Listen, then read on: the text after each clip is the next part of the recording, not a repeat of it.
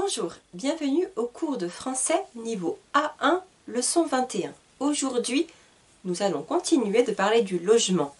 Nous allons décrire le logement.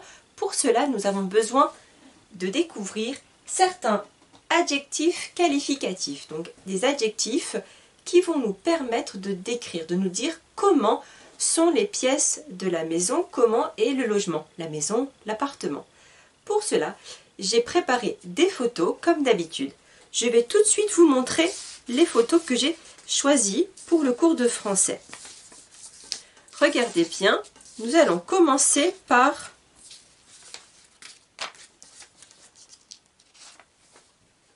un salon. D'accord? Comment est le salon? Alors, pour le décrire, nous allons le comparer avec celui-ci. Regardez, ici j'ai deux photos de salon très différentes. Comment est ce salon? Comment est celui-ci? L'adjectif que je vais utiliser pour décrire ce, ce salon est l'adjectif clair. Le salon est clair. Le contraire, ici, le salon est sombre. Clair, sombre. Voici deux premiers adjectifs pour qualifier ces deux salons. Maintenant, nous allons utiliser les mêmes adjectifs, mais pour deux nouvelles photos. Regardez bien. Ici, j'ai choisi une chambre. La chambre est claire. Le salon est sombre. Clair, sombre. Je vous écris au tableau le vocabulaire. J'ai séparé en deux parties les adjectifs au masculin puis au féminin. Pourquoi? Parce qu'il peut y avoir une différence dans l'écriture. Vous allez voir. Je commence d'abord par l'adjectif clair. Donc, le salon est clair. Comment je vais écrire le mot clair? Je vais l'écrire C-L-A-I-R. Clair. Par contre, si je prends la chambre est claire, là, je vais ajouter à mon adjectif au masculin le E qui va marquer mon féminin. Donc clair. Le salon est sombre. J'écris le mot ici. Le salon est sombre. Regardez bien, ici, sombre termine par un E. Donc pour la chambre, la chambre est sombre, ça va être le même mot je ne vais pas rajouter un deuxième E. Nous avons déjà un E, nous le gardons ici pour le féminin. Je continue avec d'autres photos. Donc, nous reviendrons un peu plus tard sur ces photos que je mets de côté. Maintenant, j'ai également deux photos ici de chambres. Je voudrais les comparer. Ici, nous avons euh, une chambre pour en tout cas avec un grand lit, donc peut-être pour une ou deux personnes. Ici, c'est une chambre pour un bébé. Comparons ces deux chambres. La chambre est grande, la chambre est petite. Les, les deux adjectifs que je vais utiliser sont grand et petit. Comme la chambre c'est féminin, je dis la chambre est grande. Excusez-moi, je vais commencer par le mot au féminin, puisque je vous ai dit la chambre est grande. Maintenant, si je change, je prends par exemple le salon. Vous voyez, en notre exemple, le salon est grand. Et là, je vais enlever le E, d'accord? Donc juste grand. Attention, le D, je n'entends pas le D. Par contre, ici, oui, je l'entends. Grand, grande. L'exemple que je vous avais aussi choisi avec la chambre de bébé, la chambre est petite. C'est pareil qu'avec l'adjectif grand. Donc ici petite. Donc je termine par un E pour le féminin. Par contre, si c'est un masculin, le salon est petit. Et là, je n'entends pas le T. Le T est muet. Je continue. Je vais reprendre mes, euh, mes photos ici, j'aime beaucoup ce salon. Donc, nous avons dit que le salon est clair, il y a les murs, il y a une fenêtre, mais aussi il y a beaucoup, beaucoup de lumière. Donc, si dans une pièce, il y a beaucoup de lumière, je vais dire que c'est lumineux. Le salon est lumineux. Je vous écris ce mot. Lumineux. Je termine ici par un X. D'accord? Le X reste muet. Par contre, si c'est un mot au féminin, je vais écrire lumineuse. Avec beaucoup, beaucoup de lumière. Je continue avec mes autres photos. Regardez, je vous ai pris deux cuisines. Regardez cette première cuisine et celle-ci. Comment pouvons-nous les comparer? Que pouvons-nous dire pour comparer ces deux photos? La cuisine est propre, la cuisine est sale. Je vous ai également choisi deux, séjours, en fait salon, salle à manger, en tout cas deux appartements. Regardez cet appartement. Il y a des affaires partout. Donc le salon ici, le séjour est sale. Ici par contre, le salon est propre. Je vous écris deux adjectifs supplémentaires. Le premier c'est l'adjectif sale qui se termine par un E au masculin, donc je vais retrouver la même orthographe pour le féminin donc sale. Par contre, propre, c'est pareil. Propre, propre. Ça finit par un E, masculin et féminin. Nous, nous écrivons le même mot. Je continue. Regardez ces deux cuisinières. Alors, je vous ai choisi deux cuisinières très différentes. Que pouvez-vous dire? Cette cuisinière est vieille, peut-être, euh, je ne sais pas, 1960, d'accord? Tandis que là, cette cuisinière est neuve. Neuve signifie nouveau, nouvelle, d'accord? C'est une nouvelle cuisinière. Cette cuisinière est neuve, cette cuisinière est vieille. Je vous écris le mot. D'abord, je vais commencer par le mot neuve. Neuve, attention, euh, l'adjectif au masculin et, et, au féminin est différent.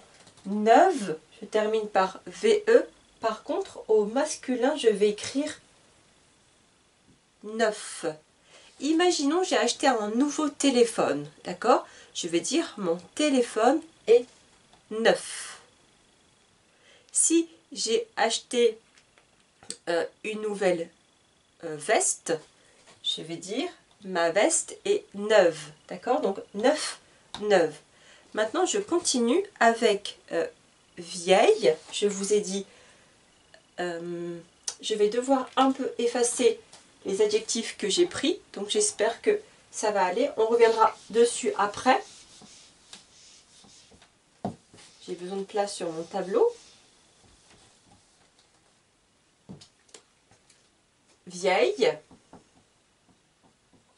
La cuisinière, d'accord? La cuisinière est vieille. La cuisine, euh, si je change par exemple le canapé, voilà, le canapé est vieux. Alors, je vais bien faire mon U, parce que je ne veux pas que vous vous trompiez. Donc là, ça termine par un X. Bien sûr, le X, je n'entends pas, il est muet. Vieux, vieille. Je continue. A encore d'autres d'autres adjectifs à vous apprendre. Regardez ces deux couloirs. Que pouvez-vous me dire sur ces deux couloirs?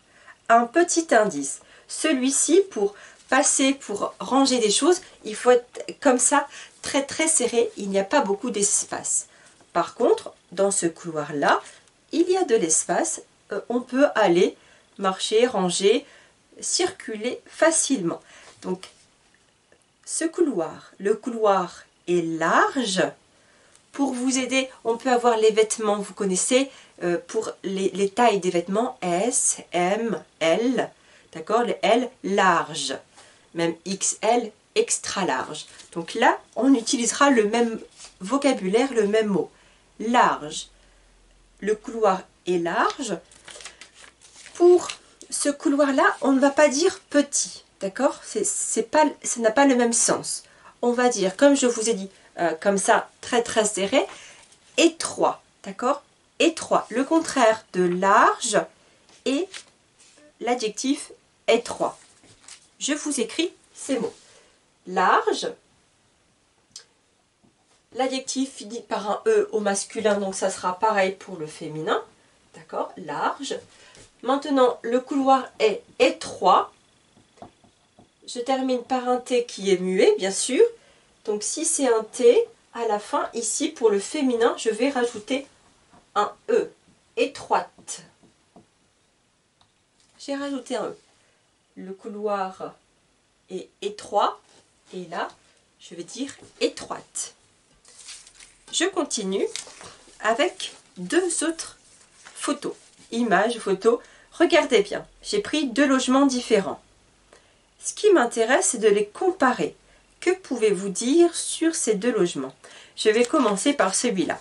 Regardez, cette maison ou cet appartement est au bord de la mer, dans un quartier tranquille. C'est calme, il n'y a pas de bruit. Donc, ici, l'appartement ou le logement est calme. À l'inverse de cet appartement, pourquoi? Parce que il y a euh, la voiture, le petit garçon qui joue avec un ballon, la musique chez les voisins, d'accord? Il y a beaucoup beaucoup de bruit. L'adjectif pour qualifier cet appartement, c'est bruyant. L'appartement est calme, l'appartement est bruyant. Je vous écris ces deux mots. Calme, ça termine par un E, donc j'utilise la même écriture pour le féminin Par contre, ici, bruyant. Donc, si je parle de l'appartement et bruyant, donc ça se termine bien sûr par un T qui est muet. Et au féminin, je vais rajouter un E. Bruyante. Bruyante. Bruyant, bruyante. Je continue. Je vais vous montrer deux appartements. Ma question est, quel est l'état de ces appartements. D'accord? Il faut réfléchir quel est l'état. Regardez bien ces deux photos. Cet appartement est en bon état. Il est bien. D'accord? En bon état. Donc l'adjectif que j'utilise est bon. Par contre, celui-là, ça ne va pas du tout. Il est en mauvais état mauvais. C'est une catastrophe. Mauvais. bon, mauvais. Je vous écris les adjectifs. Bon. Bon état parce que ici, état est masculin. Un état. Bon état. Si je vais écrire au féminin, je vais rajouter deux N-E. Bon état. Maintenant, mauvais, mauvais état mauvais, comme ceci. Bien sûr, je n'entends pas le S.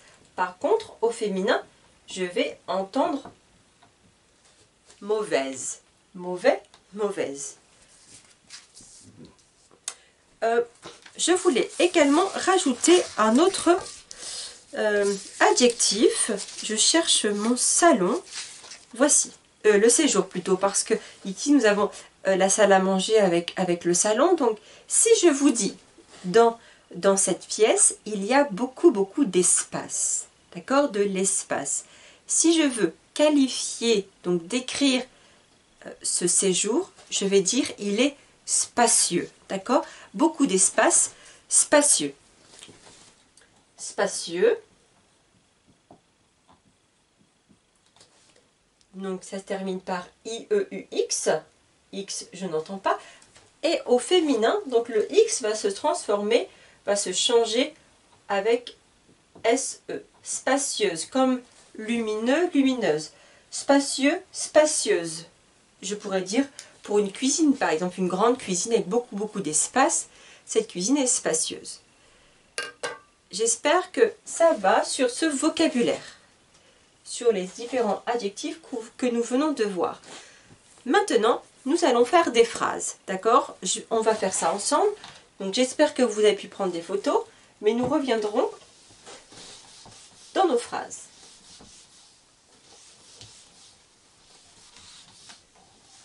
Je vais commencer, vous vous souvenez, par la chambre. Cette chambre. Je vais commencer par, par cette phrase. La chambre est grande.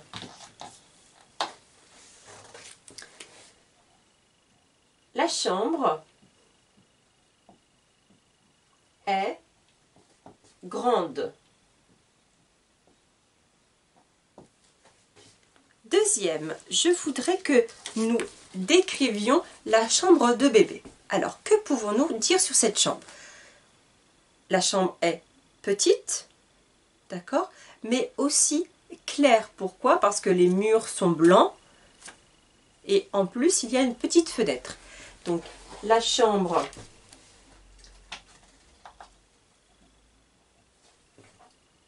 la chambre est petite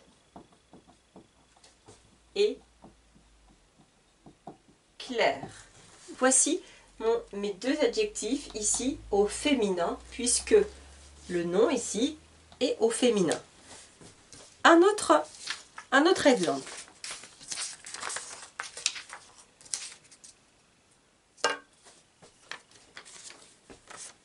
Pensez-vous de ce salon? Est-ce qu'il euh, est petit? Est-ce qu'il est grand? Que pensez-vous de ce salon? Est-ce qu'il est beau? J'ai oublié de voir avec vous l'adjectif beau et belle. Nous allons quand même l'utiliser. Donc ici, je trouve que ce salon, il est sympa. D'accord? Il est beau. Donc je veux dire, le salon est beau, il est spacieux, donc il y a de l'espace, et lumineux, parce qu'il y a beaucoup de lumière. J'écris cette phrase. Le salon est beau. Donc beau au masculin. Le salon est beau. Il est spacieux. Et lumineux.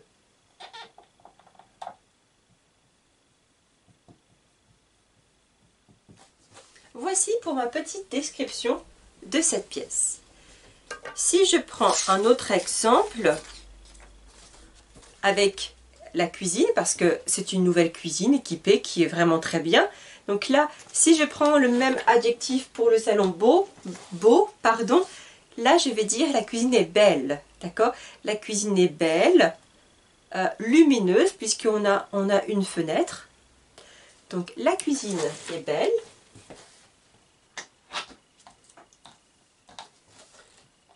La cuisine est belle. Elle est lumineuse lumineuse et propre. N'oublions pas, nous avons dit tout à l'heure qu'elle était propre. Et propre, bien rangée. Voici pour ces quelques exemples. Maintenant, ça va être vous, à vous de travailler. Je vais euh, vous donner un exemple, un adjectif, une photo, et vous allez m'écrire le contraire. Par exemple, si je dis la chambre est grande, vous allez devoir écrire la chambre est petite. J'efface ces phrases et ce sera à vous de travailler. Donc j'efface les quatre exemples ici. D'abord, nous allons Donnez-moi les adjectifs contraires. Numéro 1, adjectif contraire. Contraire opposé. Et je vais vous donner tout de suite un exemple contraire. Le contraire de grand, par exemple, petit. D'accord? Voici, donc je vais vous donner quelques exemples. Donc grand, ensuite je voudrais le contraire de euh, clair, le contraire de neuf, le contraire de propre, et voici. Vous allez juste me trouver les trois adjectifs. Ensuite, deuxième exemple, l'opposé. Cette fois-ci, ça va être des phrases contraires. Je vais commencer par l'appartement est bruyant. D'accord? Voici. Donc, vous allez m'écrire les phrases contraires. Donc, l'appartement est bruyant. Donc, le contraire, c'est à vous d'écrire celui-ci. Autre exemple. Euh, le salon est sale. Le salon est sale. Le contraire, à vous d'écrire. Voici votre travail à faire pour la semaine prochaine. Je vous remercie d'avoir regardé le cours de français. Je vous dis à très bientôt. Au revoir.